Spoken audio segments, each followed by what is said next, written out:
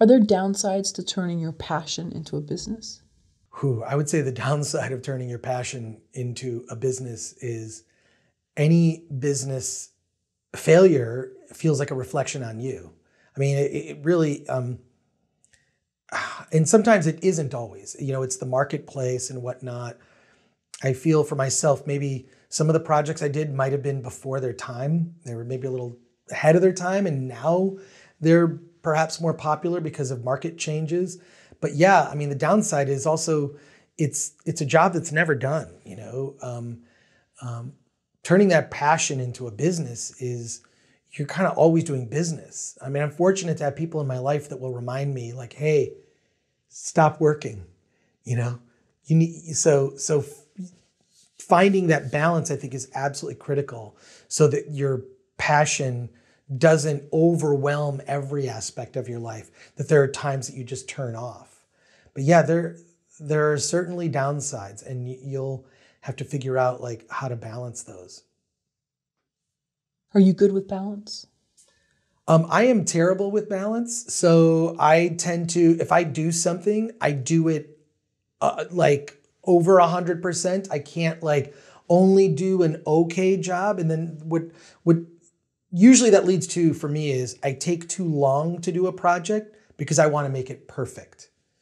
So I once heard the term uh, perfliction, which is a combination of the term perfect and affliction. It's like um, I, I want something to be so perfect, I'll take too long to do it. By the time I get it done, it's not, it may have, the opportunity um, that it uh, would have would have made it an interesting thing to create. That's that's gone in the past. You know, I mean, you see that when it comes to the first person to get a review out of a movie, right? It's not always the best written review.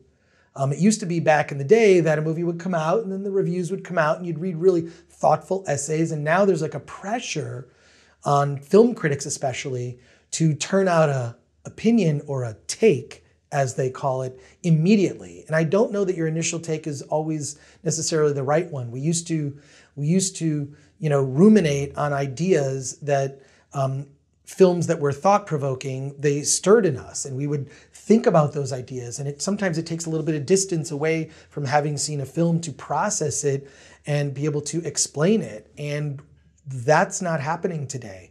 It's about who has the first take and the first opinions are out. And you'll even see things trend on social media. The first thoughts on this movie that just came out. I mean, if you don't watch um, whatever the binge worthy show is at midnight when it comes out, it's spoiled for you in the morning at 8 a.m. when you're reading social media. So I, I, I find that. Um, I find that that can can create undue pressure, and I think that not always the first idea is not always the best idea. Um, and I think it's important to really think about things like that. I don't. I, I don't even know if some of the stuff, the the um, the things coming out from studios, even require that much of that much thought. But I think that I what I do miss is that conversation. I mean, I grew up reading Pauline Kael, who I just loved. Um, I didn't always agree with her, but what I loved is just how provocative her writing was um, and how thoughtful and how much I learned every time I read a review of hers uh, was amazing. And I miss that kind of reverence for film criticism. I don't even know, it's really difficult to find that these days. It's certainly not, those voices aren't the ones that are amplified. That's what I'll say. Why do you think that is? Uh, because we consume pop culture too quickly. You know, I mean, Netflix will drop a show on Friday and everyone will have seen it by Monday. And then what's the next thing? Um, so that's why I think it's important to have a balanced media diet. But in addition to the balanced media diet, you know, how about a book, then a movie, then a podcast, not necessarily, you know, binging things constantly to where, you know, it almost ends up being a blur, right? Um, so so I, I miss the days of the thing that was important was the conversation. And we live in a dangerous time where you can have the wrong take on something. That and that's kind of dangerous. I, I, I, I, like ideas that uh, provoke my sensibilities, you know? Um, I like some something a, a piece of art that will challenge me.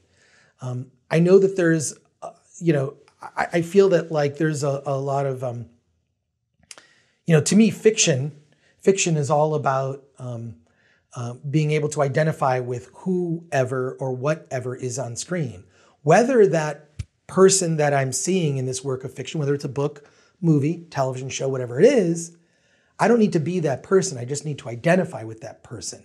May not be my same gender, may not be the same ethnicity or nationality as me, may not speak the same language as I, may not even be human, right?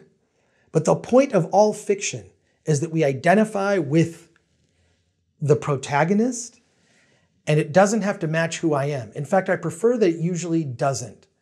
I mean, I remember being mocked uh, when I was younger. Whenever I play video games, I always chose female characters. I don't know why. I think I just like to look at the female form in a video game, but I always chose the female characters. Um, I, I, tend to, um, I'm playing right now, the video game I'm playing and obsessed with, and it's been um, wrongly, uh, I think, mocked for a lot of its technical issues, is the, the game Cyberpunk 2077, which I think is a brilliant, brilliant game. It really immerses you in this, you know, open world adventure game. Um, and I'm playing as a female version of a character, and I, I think it's I think it's amazing. I think that there's, um, I, I think I think we learn by identifying with someone who, who who doesn't match my my exact circumstances. I think a lot of this comes from my mother. Um, when I was younger, and I would just see whatever mainstream stuff was at the movie theater. I lived bicycle distance to a movie theater where I grew up in Royal Oak, Michigan. And I would ride my bike to the Berkley Theater or the Main Theater um, or the Americana Theater, which was a further bike ride. But I would, I would, I would go see movies, and she would tell me, "Don't just go see movies that are at the mall theater. Go to the art house." She encouraged me to go to the Maple Theater, which was where their art house theater was, and I saw films that had subtitles. You know, I mean, I grew up watching a lot of uh, uh, Toho monster movies, right? And and you know, I, I, uh, Japanese television shows. So I had this, you know, by the time I was like in my late teens, early 20s, I'd seen a lot of foreign films and a lot of a lot of, of just different types of movies across the board, not just your traditional big mainstream movies like your Star Wars and your Alien and and and you know Disney cartoons and whatnot. So back to having a, a balanced media diet, and uh, I think that's important. And I think it's important. And I think I think I know when a writer's been successful, when someone that I would not have ever had that experience where I can just be totally with that person, um, experiencing the world through their eyes, and I'm I don't look like that person. I think that is really powerful to be able to create a character protagonist that anyone can identify with. Um, so I think that's important to keep in mind.